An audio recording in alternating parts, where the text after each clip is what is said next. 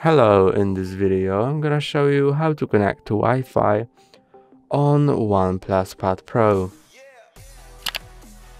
To connect to Wi-Fi, go to settings, then click on Wi-Fi, make sure in, you're in Wi-Fi tab, and here you can see I'm currently connected to a network, but I'm gonna show you how to connect to another one.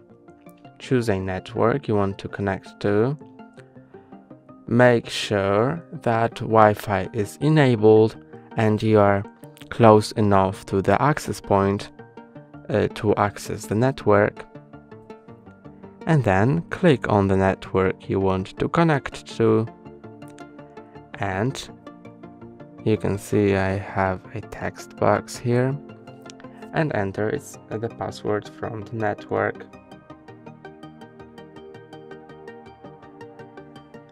Then press on done. And if you've entered your password uh, correctly, it should stay connected and there should be displayed a Wi-Fi icon. That's all for today, don't forget to like and subscribe, see you next time.